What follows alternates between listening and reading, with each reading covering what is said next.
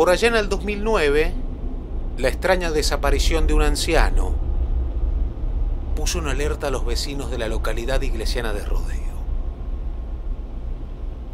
Era extraño que no se lo viera por ahí. Más aún si uno pasaba por la puerta de su casa y veía que no había ningún desorden aparente. Pero su morador no aparecía y despertaba todo tipo de teorías en los vecinos de la zona.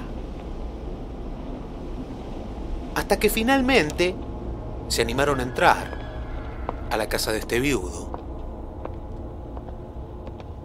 Pasaron el comedor. Llegaron al dormitorio y en un primer vistazo observaron una mano asomando debajo de la cama. Era el cadáver del dueño de la propiedad que estaba con una bolsa plástica cubriéndole la cabeza.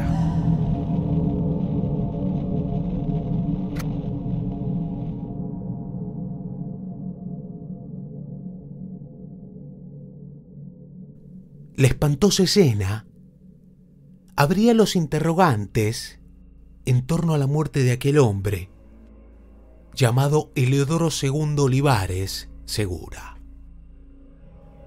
que sucedió la noche del miércoles 8 de enero del año 2009 en una vieja casona de la calle Santo Domingo de Rodeo, del departamento de Iglesia, justo enfrente de la municipalidad. Los investigadores policiales lo sabían o querían alarmar, pero en un primer momento instalaron la teoría de un posible suicidio de aquel anciano de 74 años.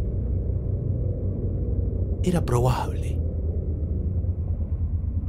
porque hacía cuatro meses que había fallecido su esposa. Según los vecinos, estaba solo deprimido y enfermo. Tampoco tenía familiares en la provincia. Se hablaba de un muchacho al que calificaban como sobrino, pero que en realidad era un amigo, que visitaba y ayudaba al abuelo de vez en cuando. Pero lo que no podían explicar los policías era cómo fue que el cuerpo de aquel anciano llegó debajo de la cama con una bolsa en la cabeza. La autopsia realizada por el reconocido forense Alejandro Yesurón despejó las dudas y sepultó la presunción de una muerte voluntaria. Todo lo contrario, confirmó que aquello era un asesinato.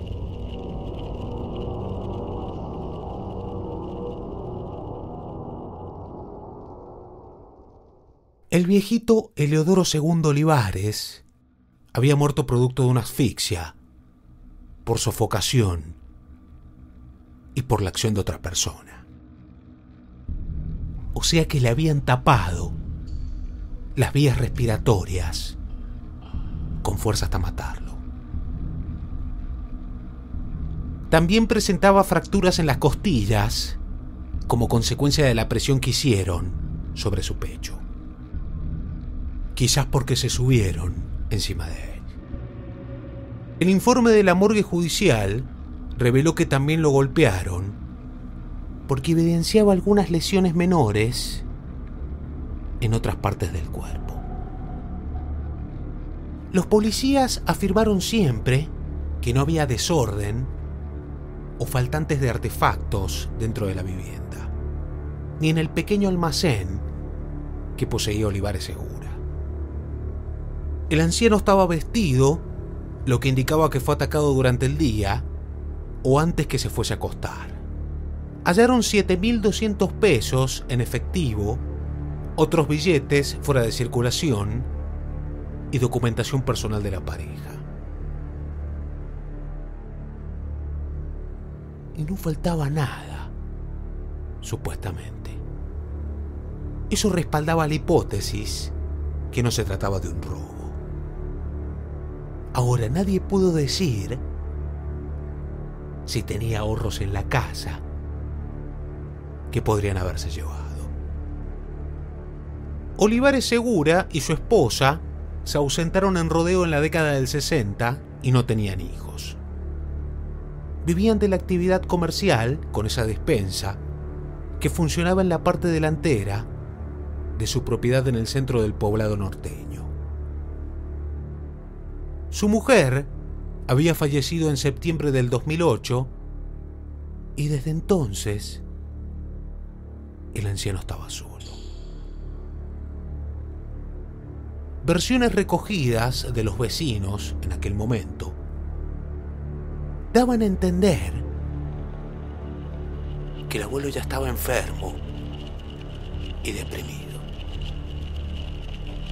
Eso encajaba con la posibilidad de un suicidio.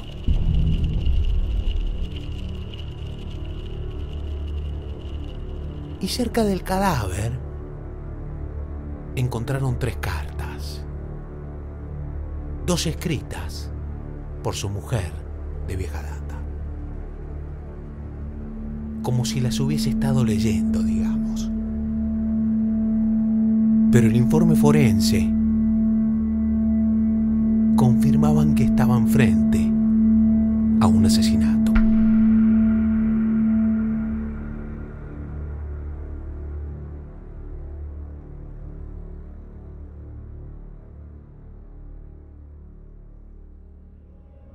Los pobladores contaron que ese miércoles no vieron nada extraño en la casa de Olivares Segura. Lo único llamativo fue que no abría su negocio en todo el día. Eso preocupó a un vecino que llamó a los policías de la seccional 22 para que se hicieran presente y miraran si el abuelo estaba bien. Los uniformados llegaron cerca de la medianoche a la propiedad de calle Santo Domingo y entraron por la puerta que permanecía abierta. Hicieron una recorrida y encontraron el cadáver. Una vez que se estableció que era un homicidio, los policías salieron a buscar las pistas. Un viejo periodista de aquel pueblo contó que en el marco de estas investigaciones detuvieron a cuatro jóvenes de rodeo que no contaban con buena reputación y de los cuales se presumía que podían haber entrado a robar a la casa pero no estuvieron mucho tiempo detenidos y los liberaron porque no existían pruebas para involucrarlos en aquel crimen. Un jefe policial que trabajó en el caso reveló que luego detuvieron al sobrino de Olivares, que no era pariente, sino un amigo que solía visitarlo. La sospecha rondaba en que este hombre lo mató para quedarse con la propiedad y los bienes del anciano. Pero esa línea investigativa tampoco prosperó. Esta persona presentó testigos y justificó que el día donde se cometió el crimen estaba en la capital de San Juan. Y con esto, la causa se quedó sin sospechosos.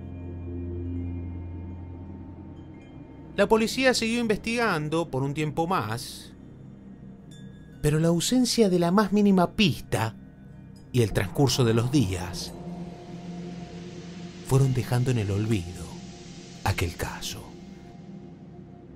Además, no había nadie que reclamara por el esclarecimiento del crimen. Y así, la causa judicial se estancó. Y a 12 años de aquel misterioso asesinato, todavía no se sabe nada.